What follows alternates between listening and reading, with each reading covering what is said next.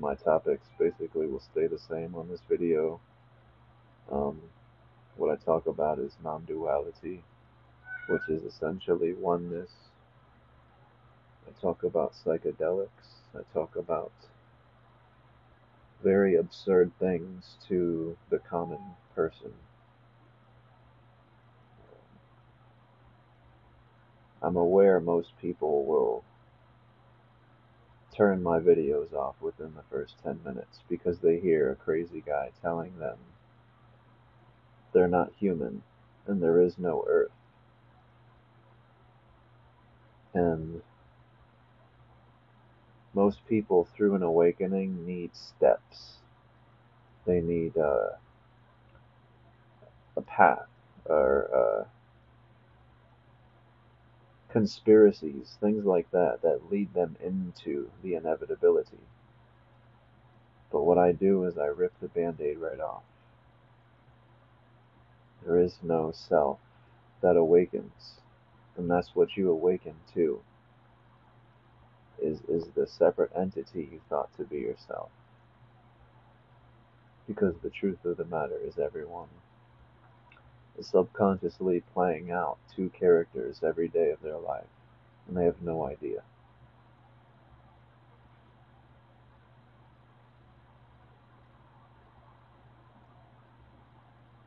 The boundary to our reality is our deepest fear. That's as far as we will see through the mind. Your deepest fear. That's your boundary. And your deepest power, your greatest power, you project through your eyes every single day. You live two identities every day of your life. You have no idea. It's a subconscious.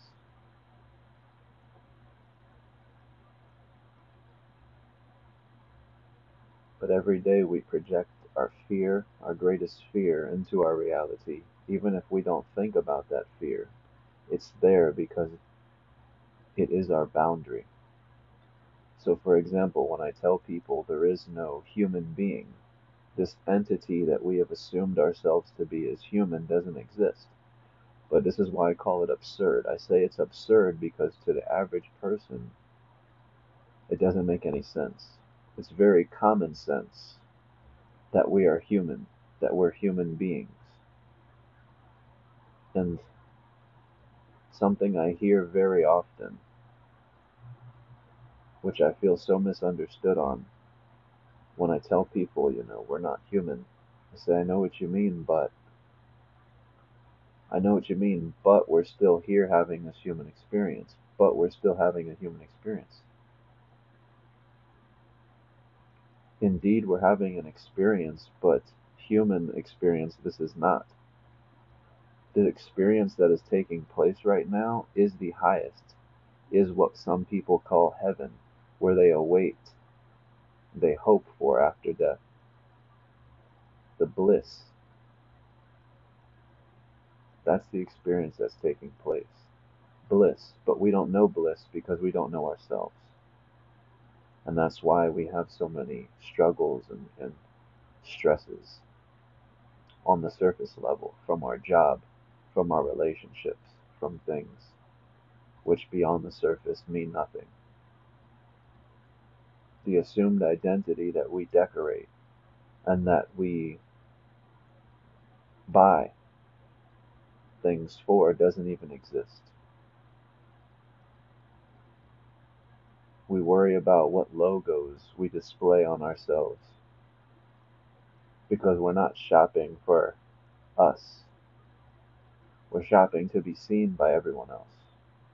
Again, proving the fact we don't know ourselves because the inevitability is no one seeing the version of you that you're displaying for the world. What I mean by that is before you leave your house every day, you may look in the mirror one last time. Let's just make sure everything's intact. My hair looks great and everything looks good. You have your image presented, presented that you present to the world. And this is the image that you think people are seeing and judging every day. When someone's rude to you, it's because of this image. It's because of this image. Something about the image. but in fact it's not. Because if someone judges you, they're only judging themselves. If someone sees you, they're only seeing themselves. And that's where the topic of non duality comes in. There is no body and earth. There is no human experience. There is simply an experience going on. And since you, this entity you assume to be human, has come up with the word body and the word earth, it's very obvious that you are the wielder of duality. You have created the above and the below. You have created the inside and out because you've created the word, you've spoken the word, and you've assigned it definition. But we don't we don't realize this. We remain hidden from ourselves, and again, it's not our fault.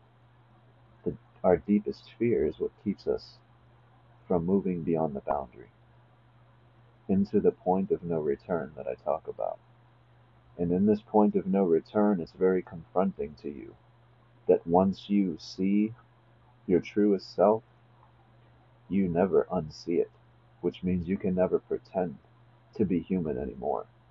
And this is what answers people's question when they ask me why or how am I so certain with what I share? How am I so confident with what I know? And this is how I've experienced the experience beyond being human. I've seen myself beyond the, the thought of myself, which was being human, which was being one name, which was being the personality, which was being the memory, which was being the mind. You lose all these things in death. And the reason you don't die is because all the things you assume to be yourself that began through a birth never was. You collect things and attach them to your identity. We make up an identity out of our collections through the memory, through the mind, through experience. But beyond all of it, you are the presence, which does not enter and does not leave. It does not come and it does not go. Which brings me back to the point of there is just an experience here. And that experience is presence and the source to presence is silence. But the human does not know silence. The human exists and hides from itself through its words. This is why the human's biggest fear, or one of them, is accepting that you are the only one here. We think it's scary to think of other life forms invading our, our Earth or another aliens species coming to invade our, our space. No. Our greatest fear is that nothing is coming. There's nothing out there. It's just you. And that's what scientists are fighting with. They can't accept it. The scientific community will not accept it. Surely there must be something else. But the reason this terrifies us is because we are looking at it through the lens of being human, that which you are not. This is why it will terrify you. You're, you are pretending to be something you are not. You are pretending to be a species you simply are not. And herein lies all struggles and, and misery through the dream world of, of human, being human. And that's what every problem surfacing is attempting to show us. Hey, you're not who you think you are. Hey, you're not who you think you are. But we don't pay attention because we exist in comfort.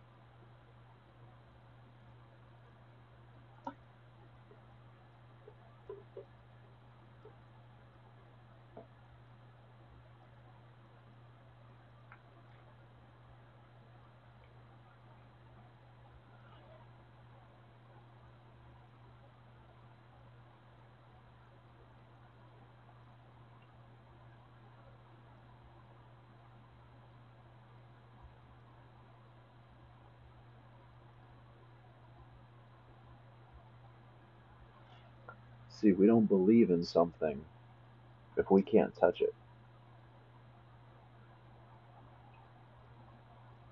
This is why NASA and these agencies have I wouldn't say lied to the people, but when NASA and these agencies hit the wall in space, they then had to come up with an explanation to give to the people.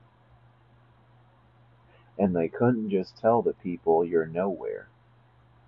They couldn't just tell the people there's nothing out there. Surely people would lose their mind. The system and the reality that we know and exist in, where cars travel and commute and you go to work and you're late for things, would dissolve. It would be gone. So NASA and these agencies have to find a way to slowly disclose to the people that the entire universal model you've been given has been constructed not only through a computer, but simply is replicating the very thing behind your eyes.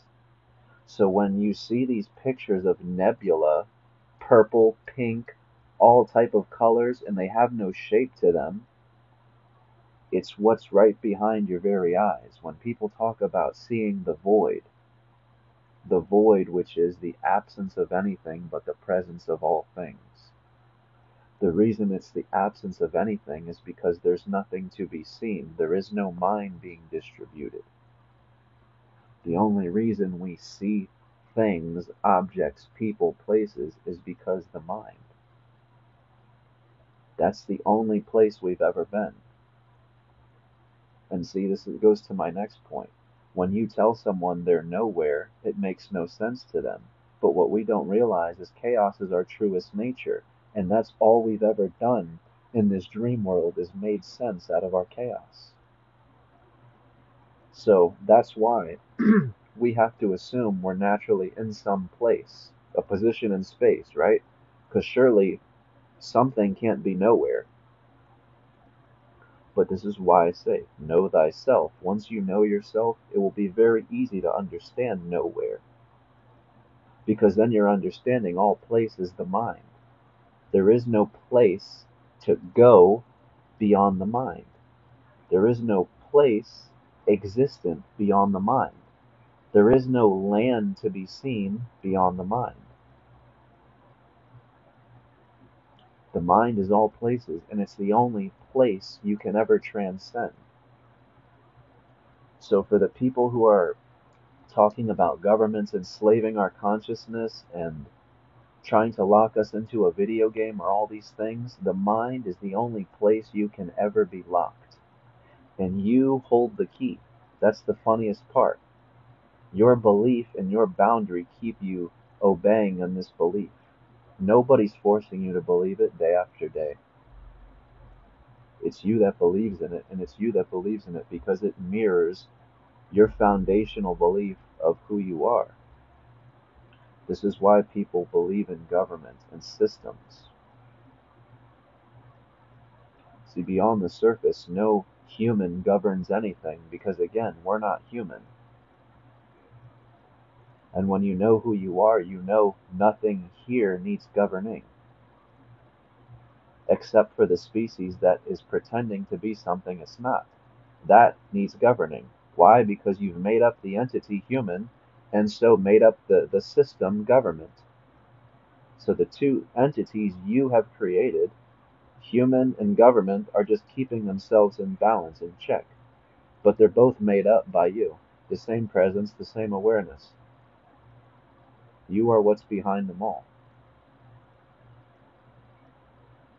Your answer is not in space, because again, think of it as a blank TV screen. That's what space is. There's nowhere to go. And I understand people will disagree and, and argue and fight till the death, but it's naturally so. That's the defense mechanism of the ego surely there has to be other things. But it goes back to my point. Our greatest fear is you are the only one here. It's comforting for us to create entities, Nocturians, Arcturians, Pleiadians, and they, are, they have ships in the skies and they're watching us and they're governing this and they're watching that. It's scarier when you realize it's all you. But at the same sense, it's empowering This is what people want, though. They want the sovereignty, they want the power, without having to be it, God Almighty. See? And that's the that's the catch of it. That's what Alan Watts talks about. Everyone wants to know God, no one wants to be it. And that's the great catch. But at the same token, as I've said, it's a trade off. It will terrify you initially, but only empower you in the end. And as I've stated before, once you know yourself, there is no fight. Even if military or government wanted to issue martial law t- tomorrow, tonight, and they carry me out of my home in shackles on this video, still cannot touch the core to my being. This is why Jesus did not fight when he was being tortured. He displayed the ultimate knowing of self. Some people may say, well, that's ridiculous. That's asinine. Why wouldn't you fight? But it goes back to the point. You don't know who you are. You may think the person executing you is getting the final laugh or say so. They have no idea who they are. They have no idea the literacy that who they are killing is themselves.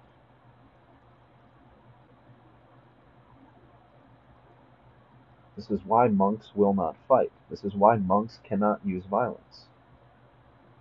They understand the literacy, not a metaphor where the same person, we're one and the same. This isn't a metaphor. This isn't some nice quote we decorate on our room. This is a literal, direct experience with reality, where you understand fully and see through your two eyes. There is not two beings here. I don't care if you're black, white, brown, yellow, purple. There are not two beings here. And that's the greatest trick of the self.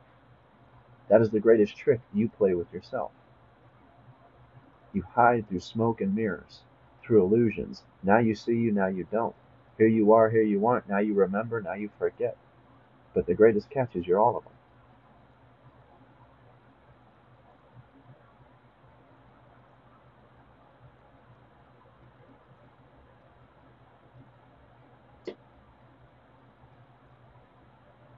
Danielle says, What causes all the dreams at night, every night, with no rest, for all my life?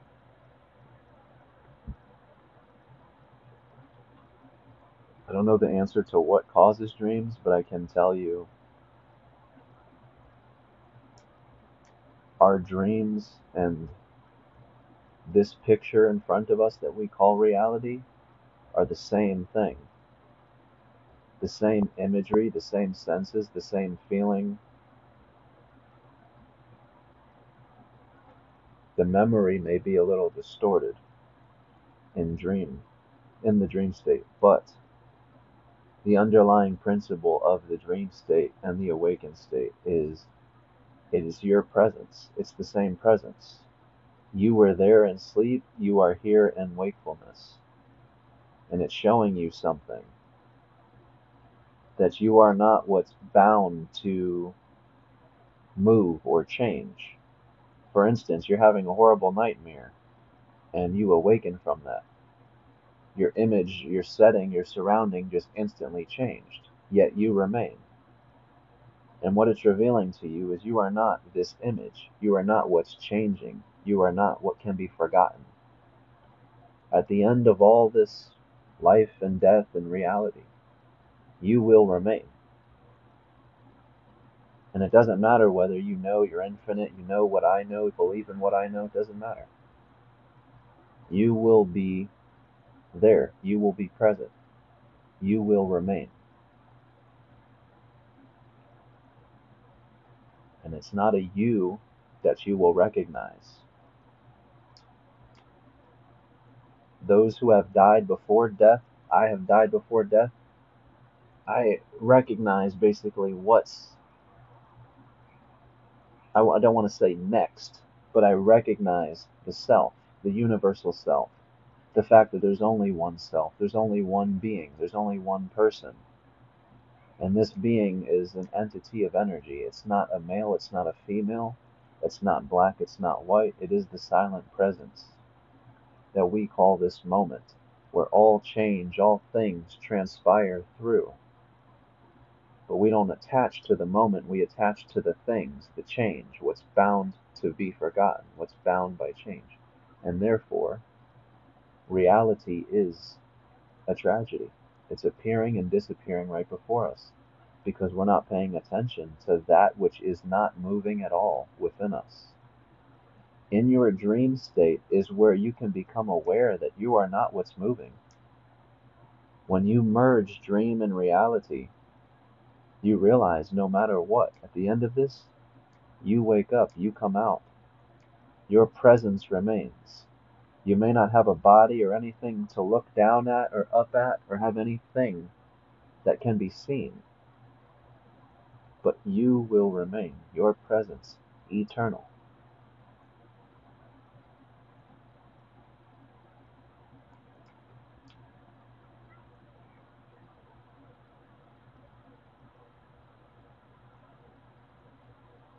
And I don't mean to say we die and go nowhere because that's the impossibility. You can't die and go nowhere because you come from somewhere. But that's where what I'm speaking of, that which is not moving at all, is revealing to you your true face all the time. Right now, in this moment, there's nothing but silence. But we ignore the silence as a nothing. There's no sound. And the reason we need the sound is we exist in the words. We don't exist in the silence, and that's why silence disturbs so many people. They need music. They can't take the silence.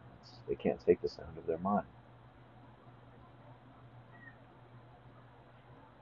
Silence is our truest presence, is our truest nature, and that's what we're basically trying to prolong through all these distractions and video games and cell phones and all the distractions. It helps us forget and prolong ourselves a little longer. We're not where we're not in this moment. And what I mean by being with this moment is staying as this moment. That's the point of no return. You do not come out. You do not come back. That is meditation. That is how Buddha taught meditation. Buddha taught and told people who were teaching meditation. Meditation is not something you can do and achieve by doing it once in the morning and once at night. That's not how meditation works. Meditation can only transform you to your core when you do not come out of meditation. And the reason we say, you know, well, I can't just meditate, you know, forever, uh, then there would be no experience. It wouldn't be an experience you recognize. But again, the experience you recognize is words, sound, the illusion, smoke and mirrors, that which will disappear before your eyes at death. Get to know the presence. That's experience that's experiencing death before death and allowing you to see that you you are what's unchanging, unmoving, all pervading. You're everywhere. You're all of them.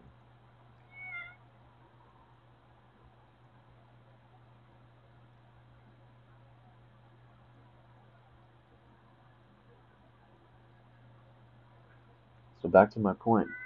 We don't really believe in things unless we can catch them, unless we can capture them, we can touch them. It's the same with Alice chasing the white rabbit. You don't know the white rabbit is really there or your mind's playing tricks on you and you're going crazy unless you capture it. You got to grab the white rabbit and capture it, right? This is why NASA has has sold the people on the belief that we have sent something to touch the sun and we've actually landed on the moon because this sells to the people that you have touched it. You have touched the white rabbit, it exists, it's there.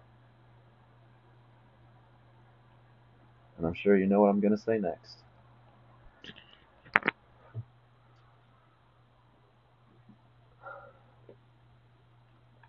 The sun and moon are very much there, but they're hollow objects and any astrophysicist, scientist that has been pushed out of mainstream has directly said and proven already that these objects you call the sun and moon are hollow.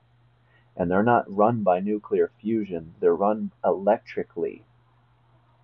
It's been proven time and time again. The reason it's not mainstream is because of what I just said. If you can touch it, it's there, it exists. But once you start realizing that these things you call physical are, are hollow, they're not physically there, you can't touch them, it opens up a whole new can of worms for the whole space idea that they've sold you and your kids. You have to rethink the entire model, the order of the planets, your position in space, the fact that you're one little galaxy out of 10 trillion billions. Because remember, this is why we constantly keep creating these lies of more and more. There's other galaxies, there's other things, there's other nebulas, there's other people. Our deepest fear behind all this mind chatter you're the only one here. And it's inevitability. It's inevitable.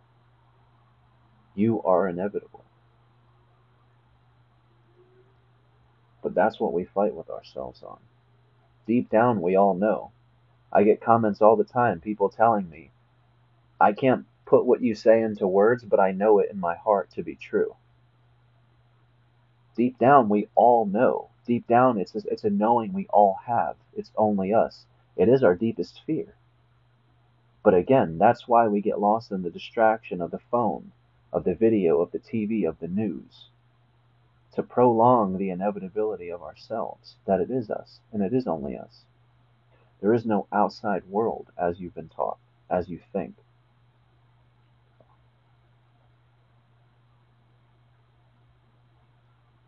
We can only progress video games and artificial intelligence, or should I say, what we think to be video games and artificial intelligence.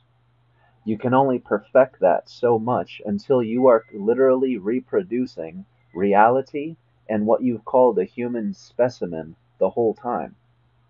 So at the end of this, the end game is us progressing video games into us creating reality itself, us progressing artificial intelligence until you have duplicated human existence. And that's what the Ouroboros is. You've, be, you've ended right where you began. You thought you were narrowing down where the human race came from, only to realize it's been you the whole time. You've bit your own tail. You end right where you began. The question and answer were one and the same the whole time.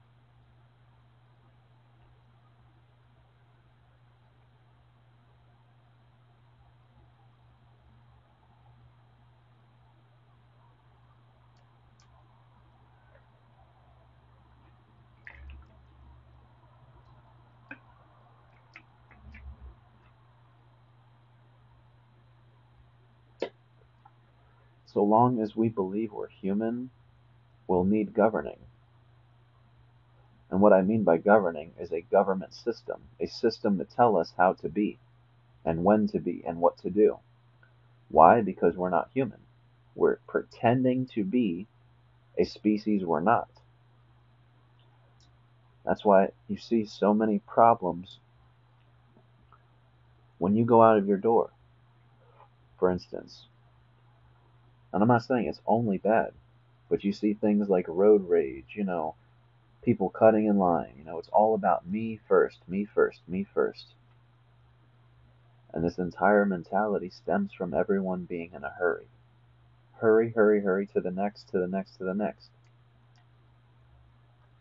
And no one realizes that beyond the surface, you're not going anywhere.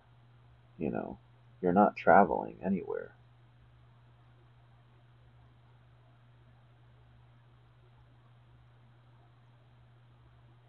This is why I tell people who are doing chakra work and things like that. You inevitably have to realize that this is a dead end too. You inevitably have to accept the bitter pill that all spiritual work is a dead end. You may not like me for saying it, but I'm again, I rip the band-aid off. If you want real results, real progress, and you're looking for an ego death, then I'm ripping the band-aid off right here spiritual practices only prolong the inevitability of your truest nature. They keep you fooling yourself and others that you're doing something you're not. And how do I know this? Because you're requiring a connection to be something you already are. You're creating a process to achieve your truest nature, which already is. It cannot be achieved, it's already done. So we can convince ourselves we're doing something to get there. But that's why I tell people careful you don't get there too soon. Because I've hit that wall. And you know what happens when you hit that wall? It's almost like a dark night of the soul. Deep depression. You hit that wall. Deep depression. And it's a part of the spiritual journey. You know, no one can avoid that for you. But just expect it. When you hit that wall, when you realize you've made it there, wherever you thought it would be, nothing changed for you. Why? Because your truest nature already is. And you've mistaken yourself as this identity which is attempting to achieve a, a, a mission for itself. But you're not even yourself. You're not even who you believe you are. Therefore, this mission you've created doesn't mean anything. Again, not if you're trying to get there. And when I say there, I mean that final thing, whatever you're reaching to. It's like the crown chakra. I tell people that all the time. What physically or mentally happens to you or around you when you think or convince yourself you've hit the crown chakra? Because you can give me explanations all day and I'll listen. But again, I know the answer. You're convincing yourself that you have to do something to get there when you're already there. And so understand, I'm not against spiritual work or practices, but I'm about getting people there instantaneously through the realization of themselves. To make people realize you have nothing to do here to reach that.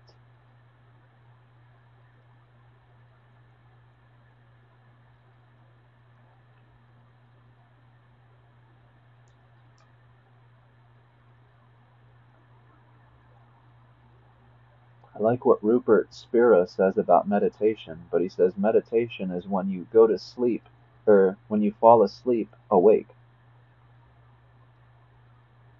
So you're you're you've fallen asleep, but your eyes are open and you're still talking and having conversation and you're moving about, but you're asleep. And let me explain what he means by that, because a lot of people would say, well, if the lights are off, then why not just die and be dead if, if you're not there? What it means is you're not identifying with the personification of yourself, of the identity of the mind, of this separate entity that is constantly speaking as the mind. Because the mind is always going to go naturally from day to day, place to place, event to event. The mind's always going to go. But you don't personify yourself with it, you don't attach yourself with it. You recognize it for what it is, and you know its source, which is silence, which is your presence which goes back to the dream state that I was talking about. You have many dreams, you produce many places, many experiences, many situations, some good, some bad, but when you awaken off that pillow, you remain unchanged and the same as, as when you went in. Life is no different. The duration may feel longer, but remember, time's an illusion. So if you wanted the reality of it, your dream state is just as long as this life expectancy that you think to be 100 years, 90 years, 80 years. It's the same thing. Duration is, is a, an idea of, um, or it's, it's a way of how, how much data we're collecting and whatnot. That's, that's, you know, what influences time or duration. But there is no actual time beyond the mind.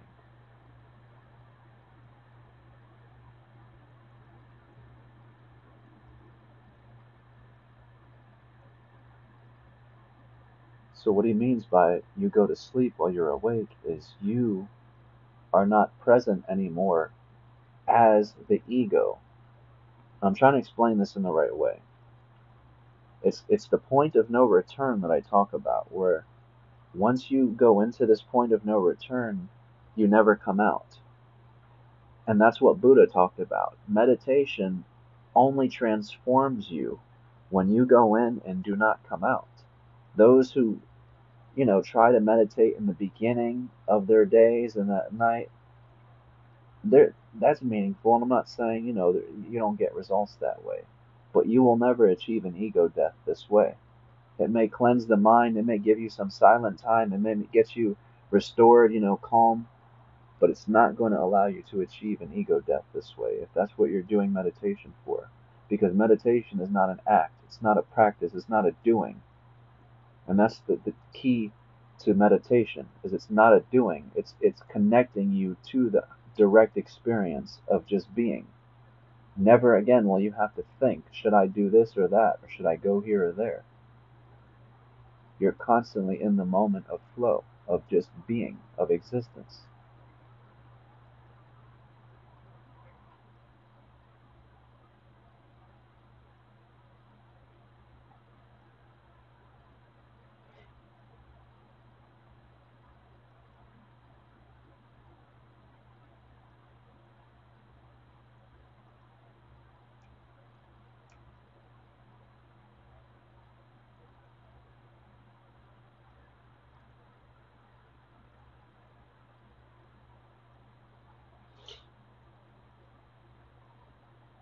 So when you meditate, when you truly meditate, you're in meditation forever. And that's what Buddha told his disciples.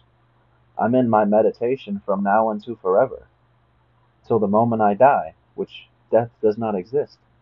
And the reason he said he was in his meditation until death is because, again, presence always is. It does not come and it does not go. So the only pieces of you that will go, that will die, are the thoughts, the words that you exist through. The thoughts you have of yourself that, again, are words, compiled words. Words don't exist. So if you exist in words, if you need sentences to say who you are, you need thought to tell you who you are, then you surely will die. You have yet to experience death. But understand, that is all death is, is the realization that all these thoughts and knowings of yourself and reality are going to go. Concepts of day and night, concepts of time, concepts of family, concepts, all concepts that have been made up that we exist through die, they go. And when you get to the bottom of why, it's because there is no separation. No place is separate from that place. No event is separate from that event. No time is separate from that time. No person is separate from that person. It's all the same singular one presence, happening all at once, to itself.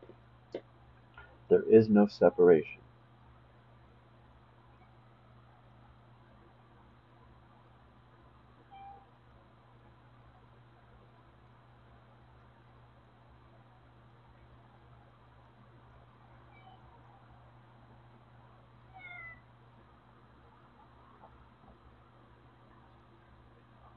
See, what psychedelics does is it dissolves the mind, it dissolves the words. Everything that, that, that is held in the mind dissolves on psychedelics.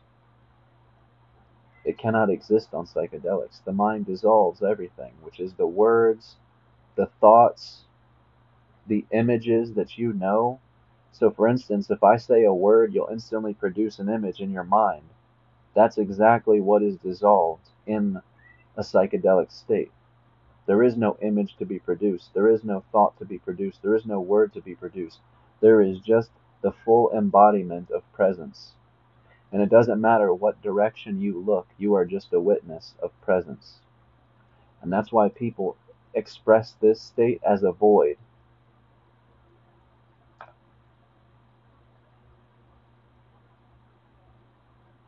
But it's not actually a void it's ourself, but we don't recognize this self because again, we've only known ourselves through what is moving, what is changing. We bounce who we think we are off of the outside world and everything that's moving and changing around us. But when you have no separation, no outside world, no influence to, to guide you as to who you are or where you are. You are fully embodied in presence itself, in the highest existence. And you understand existence for itself as it is. There is no beginning or end to existence. There is no organic life and artificial life to existence. So again, we must rethink who we've assumed we are because we think we have it all figured out and we've etched it in concrete. We're human, which is organic life, and this is a machine, which is artificial life. But we need to, to get that out of our minds because we've already etched it in concrete and solidified it. That's absolute. We figured that out. We're moving on.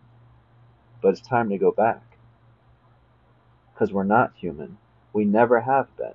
And once you start realizing you're not human, you need to start looking closer at what you're calling the machine. Because then you'll start having a different lens and realizing you're not witnessing a machine being produced, you are witnessing yourself being produced. And one of our most sacred questions is how we got here. Who put us here? Where was the beginning? And again, our deepest fear is that it is us the whole time. There is no creator as we've created, as we've thought it out to be. But you have to understand, us creating a creator will only be filtered through our own expectation, will only mirror who we think we are. So we give the creator all the attributes and all the powers that we assume we don't have. But again, we've assumed we don't have these things. We've assumed we're without because we don't know who we are. And so we project these powers, we project these things outward beyond ourselves. And whether you, you see it as an entity, as an energy, it doesn't matter. It's projected beyond you.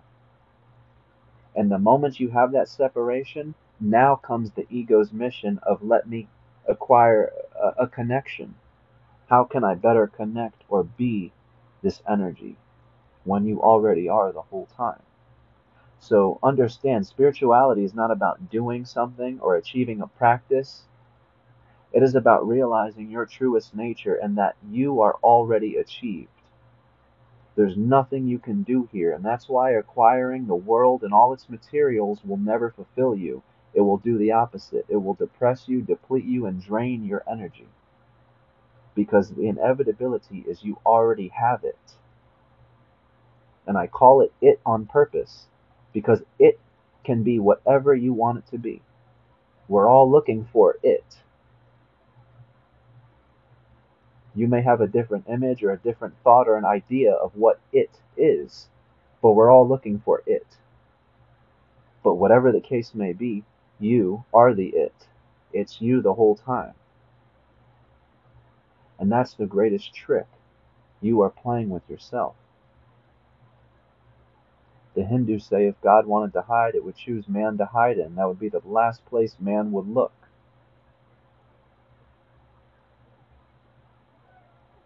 And look at us. It's the last place we're looking.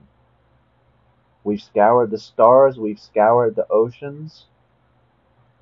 We're running ourselves mad trying to find the human origin. The hardest pill to swallow is it does not exist. There is no human origin. That's why you can't find it.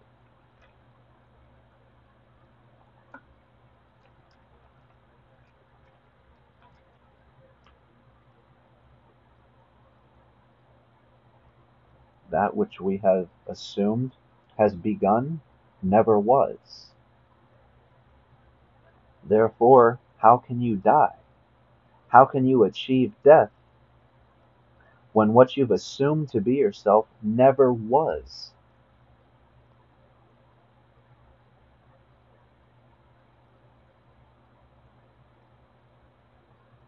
Death is a misconception based on the misconception of ourselves. Death mirrors the idea we hold of ourselves. We hold to that we've birthed we've begun. And that's why I have never born, never died on my arm right here. So when they lay me flat on that table, the coroner can read never born, never died, and he can say, What a jackass. This guy, he's clearly dead on my table, and I can laugh at him.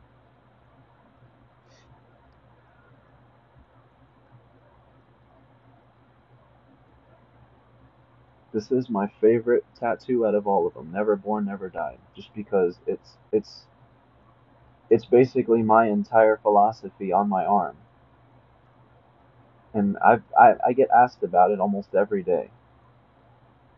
And the reactions I get are priceless because people look at me like I'm an idiot. Never born, never died. And they say, I'm looking right at you. You you're born, you're right here. You're here. I'm like, indeed I am. Yes I am and I don't try and explain because again, this it's not something you can explain to the average person at a store, at, you know, some pass by, you know, it's not something you can just tell to someone abruptly. You know, they have to be open minded enough and at that stage where they're ready to begin hearing things like this because those people who are newer to spirituality are going to chase those trending topics and trending things of spirituality, which is the chakra work, the crystals, the the healings, the, the doings, and all the practices. Those are the things. But like I said, I make these videos for people who want to achieve that next step. You've done all the practices, you've done all the doings, you've watched all the YouTube videos, and still nothing. That's why I make these videos because I was you.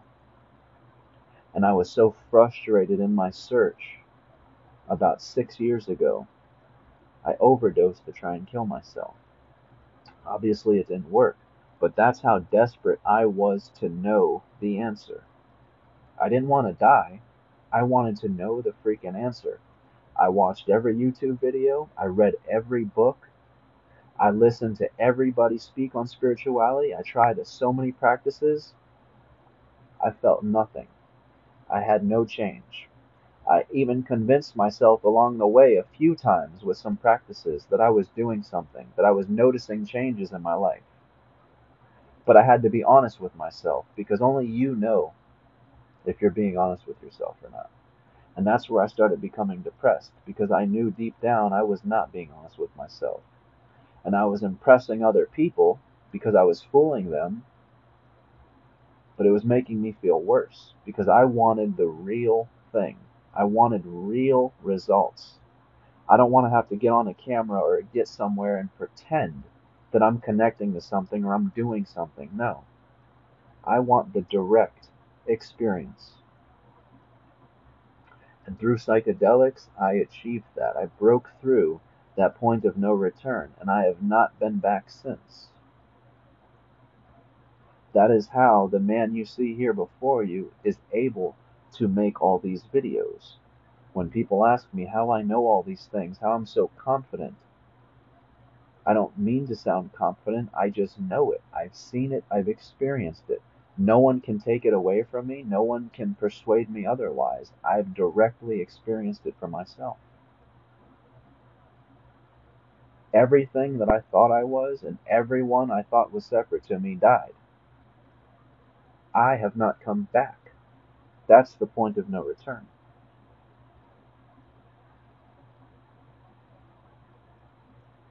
And it may sound dark and sinister when I when I say that. But understand, you must lose everything to find everything. You, you, you assume everything is yours here. It's my mother, my father, my house, my, my, my. But then you start losing these things, and it makes you realize nothing is actually yours. And that's the dark part. Nothing is yours. But then the laughter afterwards is nothing is yours, it's all you. It's a big twist. You must lose everything, you must lose everyone to truly find everyone. If you hear people speak of heaven, they talk about this beautiful place where everyone's united and everyone's one and everyone is connected as this one thing. Well, that's the same thing as an ego death.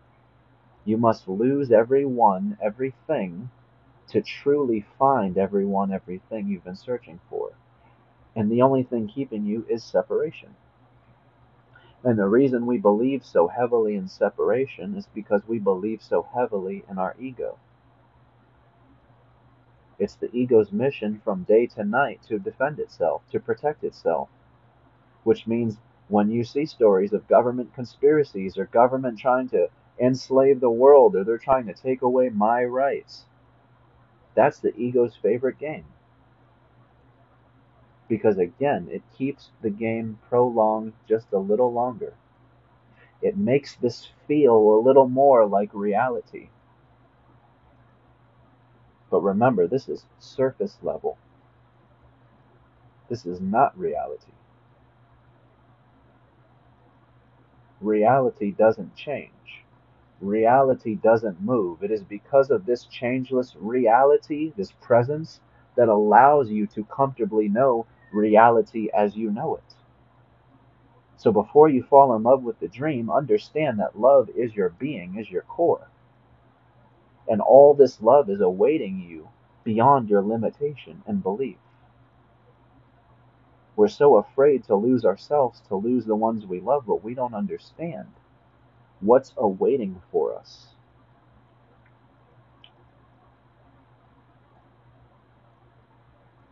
This realization within ourselves.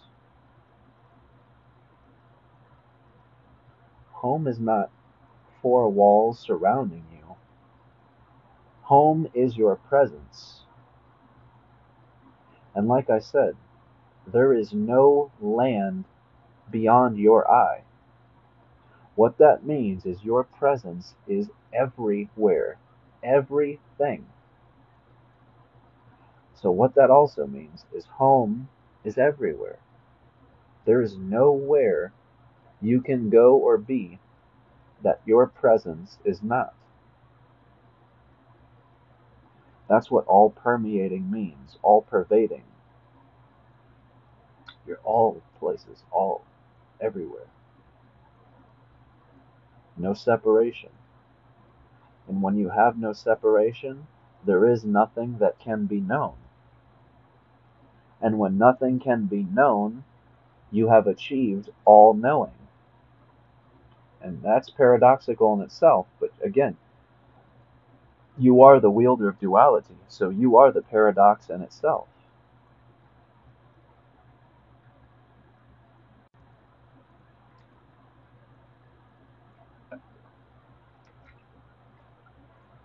And just to touch up on the point of no return, because I've had a few people tell me, you know, I've experienced that, I've experienced that, you know, but I came out. And I'm like, there's a reason it's called a point of no return. And trust me when I say, when you enter, and I don't even like using the word enter because it gives people a bad idea. That's why I do the quotes. But when you enter or embody this, there is no but, there is no anything. It's just when you know, you know.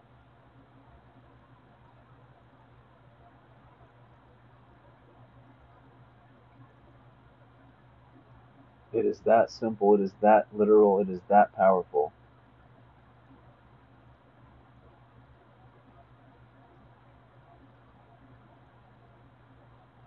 Yeah, see, if you've done ayahuasca, then you fully understand what I'm saying. People who have done psychedelics better understand what I'm saying. And I'm not saying you can't understand what I'm saying if you haven't done psychedelics, but those who have done psychedelics have directly experienced reality dissolve before their eyes.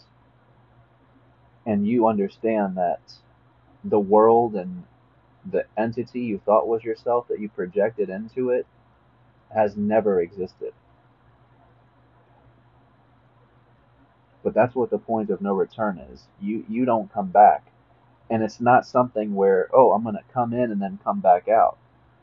It's called the point of no return. That's what I refer to it as. But like I said, those who have been faced with that point of no return fully understand what I mean. And before you even approach it, it's made very clear to you that if you enter, you will not be coming out. It is very clear. It's one of the most sacred experiences I have ever had with myself.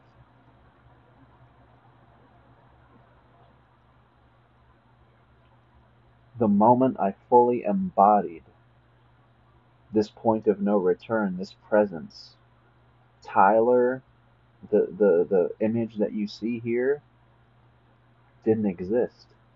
There was no Tyler. There was no description of myself. There was no past of myself, no memory of myself. There wasn't even a thought of myself. At last, allowing me to see into my truest nature. Allowing me to see that these thoughts I produce will come and go. Why do you want to exist as a thought? You are source itself. Why do you want to hold on to a thought? A thought of existence when you are existence itself. It's humorous when you realize how small we're pretending to be here. It's humorous. And what's even more humorous is everything we fear is simultaneously the answer to everything we are seeking. That fear is only there to keep your boundary up. That's why the churches created a Satan, a, an evil entity. They were creating that, that mirror, that wall, that people would be terrified to look into. It was reverse psychology. Because, and I said this all the time, but the clock strikes midnight if you look into that mirror and, and actually discover what's behind it. Because then you'll realize your truest nature and that these two entities made up by the churches are one and the same being, and that being is you.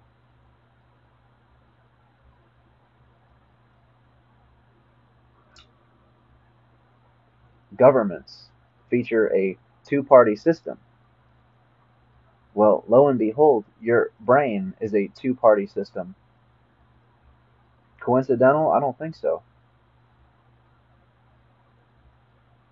So, are you for the Democrats, the right side of your brain, or are you for the Republicans, the left side of your brain? Pick one and go to war. You pick one dominantly and go to war with the other. It's a game you cannot win. But the people don't know that. That's why you see them rioting. That's why you see them talking about revolutions and destroying governments and all these things, the system.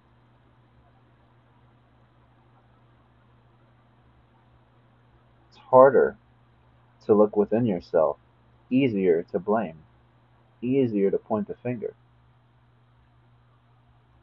That ego will not allow us to look within ourselves. Why? Because we say, well, I'm not the one signing the papers or issuing this executive order, or I'm not going to war with this country, or I'm not doing this. It's deeper than that. Again, it's time to rethink who we've assumed ourselves to be. Because that's where we're speaking from. That's the frequency we're speaking from. It's who we've assumed ourselves to be, which again is an illusion, doesn't exist. So it's quite obvious everything spoken from this entity will likewise be false. Because the whole foundation is false.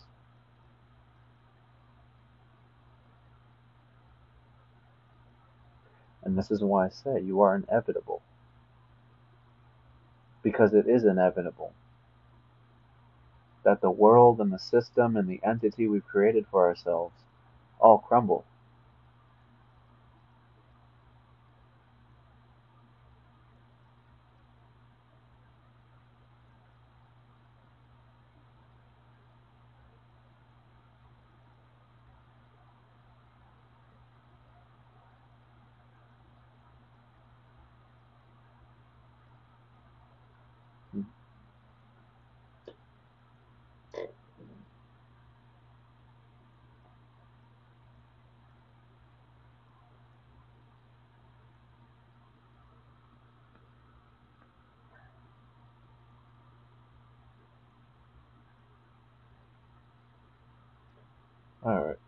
Get off here. I'm getting a little tired.